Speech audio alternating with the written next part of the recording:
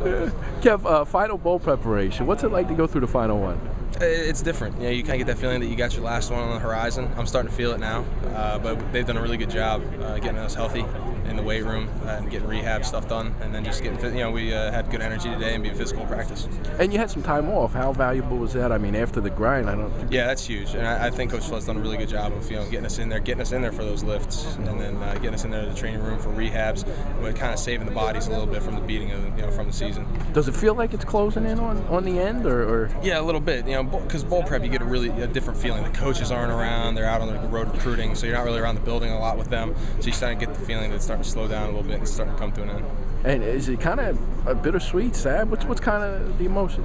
Uh, you know, yeah, it's a little sad. I mean, sometimes you know when your body hurts, you start thinking, ah, man, it's hopefully you know sooner or later. But you know, at the same time, you start thinking, you know, this is it. It's finally coming to an end. Uh, but I'm trying to keep that off my mind right now. Maybe we'll do that on the 27th. Okay. I'll think that on the 27th after the game's over. And I know they have award bangs tomorrow night. Like, is that also hit you kind yeah, of? Yeah, that might do it. Yeah, uh, you know, get you know, get the nice tuxedo on or whatever. you know, get the suit on, walk down the aisle, uh, get your name announced seen it, seen guys do it, and I never thought it would be me. But uh, so I, I, don't know how I'm gonna feel about it. Does it seem like it went by quick, slow?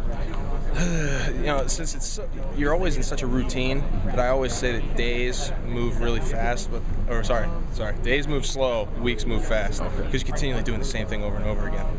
What do you think you miss most about it? What's that? What do you think you miss most about it? Oh, just being around all the guys, being around all the coaches all the time. You know, you, you build those relationships. You have you know you have a good time in the meeting rooms and the weight room and all that. So that's kind of what I'll miss the most. Okay, last bowl game, I mean, do you take a minute to like kind of enjoy everything a little more, all the activities and stuff like that? I'm gonna try to. You know, I, I don't know what they have planned for us out there, but I'm, I'm sure we'll have a good time with it.